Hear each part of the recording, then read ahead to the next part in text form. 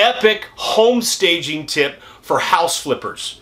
If you're not already doing this, this is going to be a game changer for you. It's going to be enlightening. It's going to make you a bunch more money.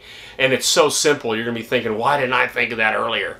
Uh, if, uh, if you're a home staging company, you're going to be pissed off at me because I'm going to be taking business from you. But here's the bottom line.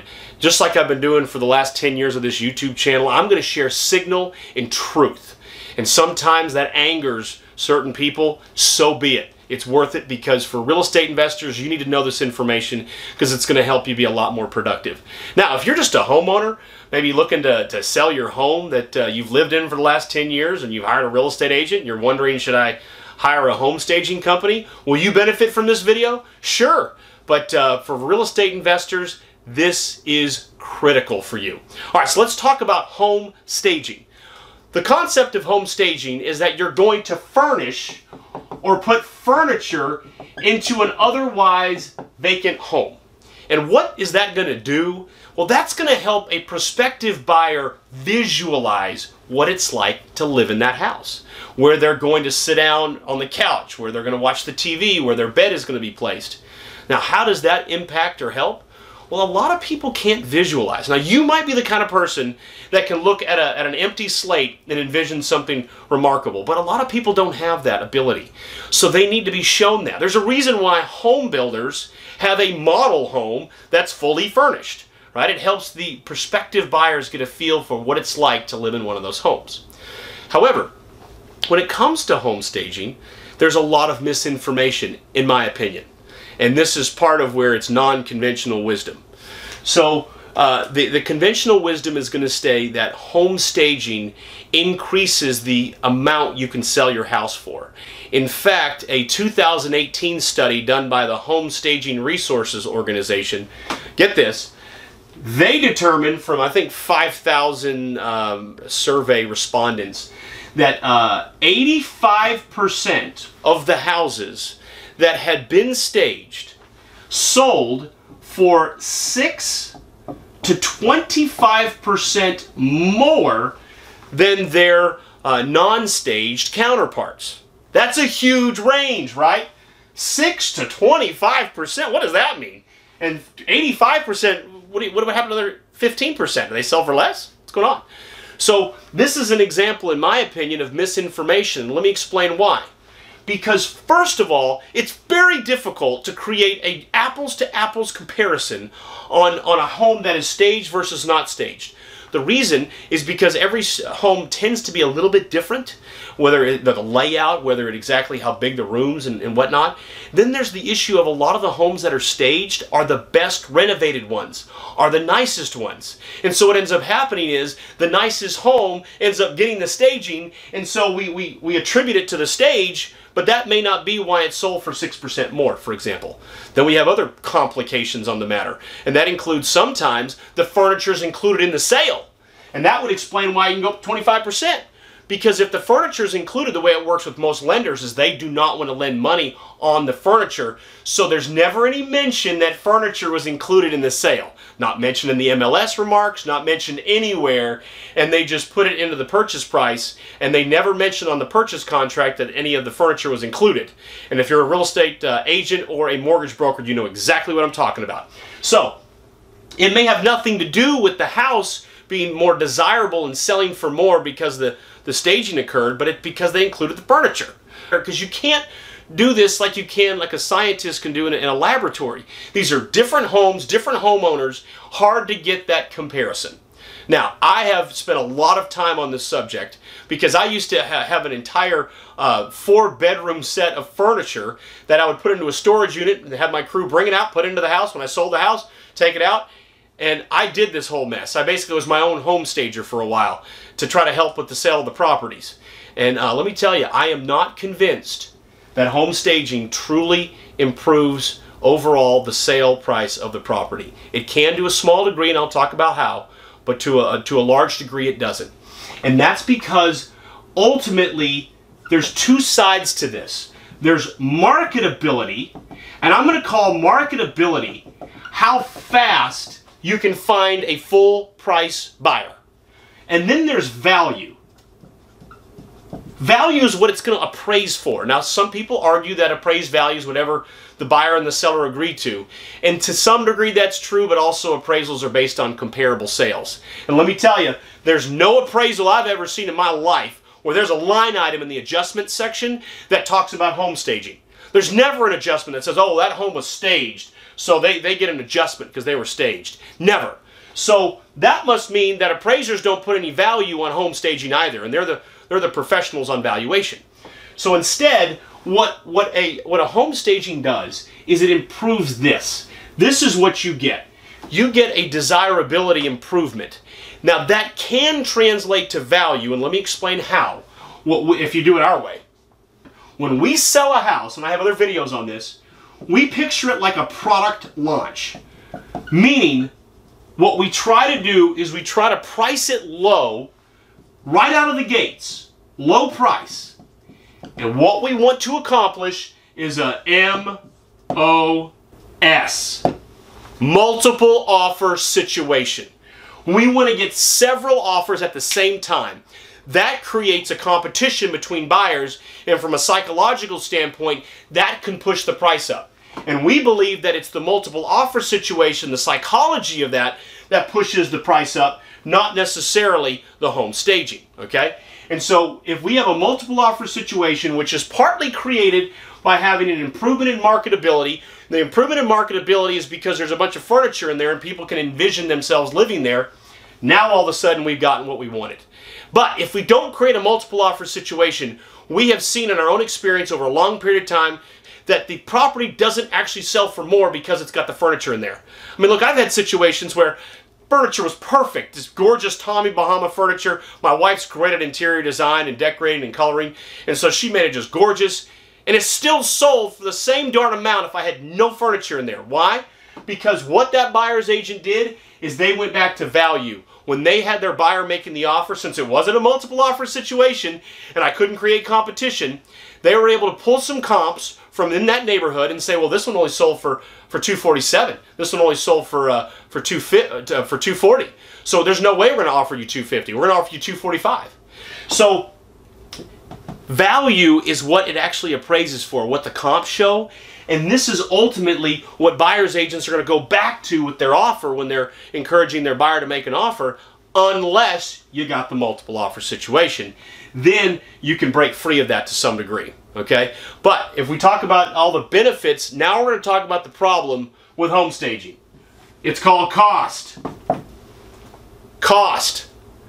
It can cost thousands and thousands of dollars to professionally home stage a property. Why? You got to move all that furniture in there, and then there's the expense of the furniture, and then there's the skill of being an interior designer to make sure all the colors all look right. So there's a huge cost, thousands and thousands of dollars. And of course, a lot of people have asked their questions over the years to me, Phil, is it worth the cost? And for so many years, this was always my answer. It was, well, it's got to be a high enough price point home where the, the sales price is so high relative to the cost that it's a tiny fraction of the overall sales price. And furthermore, you get your best bang for your buck if we're talking about a condo or some other smaller square footage where you don't need as much furniture, but the sale price is still really high. Because remember, these home builders, they don't they don't stage every home. They just do one, the model home. They're trying to be efficient. So if you can be efficient with your home staging choice, it, it my, my previous advice was always go that route. Otherwise, don't stage. It's not going to be worth the extra upfront cost to do it. Now, this is what brings us to this tip. All this time, I haven't actually told you the magical tip that's going to be a game changer, but I'm going to tell it to you now. So, if this, if the biggest problem is cost, then the solution would be to reduce the cost, right? But to still get the benefits. Absolutely. The problem is if you go out and buy your own furniture and then get the storage unit, by the time you're, uh, you're paying your crew to get it out of the storage unit, put it in the house, put it back in the storage unit, the cost is still there. You can't save money by just buying a bunch of furniture. Plus, if you don't do every house identically the same, some furniture won't fit in certain houses, right? And won't be able to get around that corner, up those stairs. So there's problems there. And then uh, actually one more problem I should I should point out about home staging is just getting the furniture in and out and dinging up the walls and, and, and taking off that, that corner. Um, so you've got cost and I'm also going to call it hassle. Here's the solution. Virtual staging. You may have already heard of it, and if you haven't, I'm so glad, so glad I'm the one to introduce you. Virtual staging, where what happens is you take your professionally shot pictures of the house, send them to a virtual staging company, and they will Photoshop in furniture into the pictures. So voila, you've got no hassles and a much lower cost. They usually charge like $75 a picture for the good ones. I uh, The company I use is uh, Box Brownie. Uh, link up here for Box. They're out of uh, Australia. They, they were the first ones to the market. They're fantastic at it. But there's probably other good ones too. I've just always used them. And what I also love about uh, virtual staging is ultimately these days the majority of sale of the sale of the house occurs before they ever show up. They're making their buying decision at the point at which they're looking on their phone at pictures. So often these days, between the Google Streets that they look at so they can look around the neighborhood and the pictures they see, most home buyers have already committed to purchasing a house before they ever show up. When they show up, they're just all they're really doing at that point is just validating all the assumptions, making sure there weren't any any gross uh, negligent lies about the pictures. Like for example, I don't recommend you should uh, virtually uh, Photoshop in, let's say, a kitchen island when there really is no uh, kitchen island in the property. The furniture you can get away with right now uh, with this idea because you can put in the MLS notes there will be no furniture in the home at the time you, you see it. Furniture is movable. So you can pull off the virtual staging and not be lying on the images. But you don't want to Photoshop in different features of the house that don't actually exist. And this right here is fast. It's easy. I still recommend you do professional photos. I know with uh, locally here, I have a, a, a, photographer that works with a lot of real estate agents. For 150 to $200, she'll take pictures of each one of my rehabbed houses. Then she does her own little color work to it, a little bit of Photoshop work to make the colors look nice as far as the sun and whatnot. And then I'll send it over to Box Brownie They'll pop in all the furniture, which is another thing. They're going to pick the right colors for that particular picture. You see that too? So they also play the role of interior designer without actually having to pay an interior designer. It's a game changer. It's made a huge impact for us. We, uh, when this idea first came about, somebody first introduced me to this. I, um, I had an apprentice that was struggling to sell a home in the mountains, which um, he had, I told him not to buy it. I told him it was way too expensive. He bought it anyways, which kind of frustrated me but I was going to help him through this little fiasco he put himself into. And here he was, 90 days on the market, couldn't sell it. He couldn't sell it because the price was too high. He didn't want to drop the price because he'd lose money. And uh, he had reached back out to me. He said, "Phil, what do I do differently?" And I said, uh, "I said, well, uh, Giovanni, what you're gonna have to do is get some furniture in these pictures." And he said, "But Phil, I don't have the money for a home staging company." And I said, "Well, Giovanni, we're in luck. I've just heard of this thing called virtual staging. Let's try them out. Let's stick some let's stick some uh, virtual couches and and furnishings there in your pictures and see what happens. I kid you not, in one week he had an almost full price offer and he had it sold. Now that is an example of a property that would not have sold uh, based on people coming to it. He would have had to sell it from the internet because people who were looking at this mountain community, they were typically far away and they were they were sold based on pictures first and then they would come to see it later.